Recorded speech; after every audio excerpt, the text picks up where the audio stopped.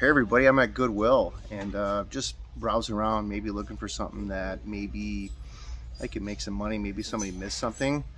Then I'm looking around at movies and there's some stuff behind me. Can you discern which ones are the most valuable ones? So uh, actually we went to my our grandparents, uh, well her mom and dad's place, okay.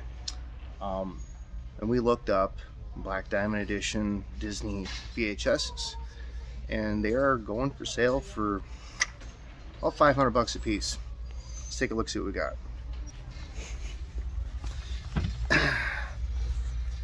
now what do they want for these things? 99 cents? Okay.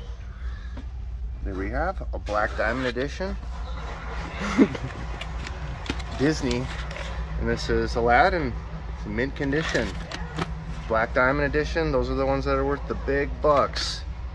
You can look at, I'm gonna, I'm gonna research this stuff. Oh, there's another one right there.